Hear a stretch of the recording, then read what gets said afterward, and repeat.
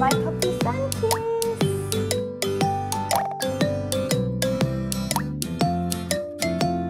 Okay, eh, no need to shave the bird.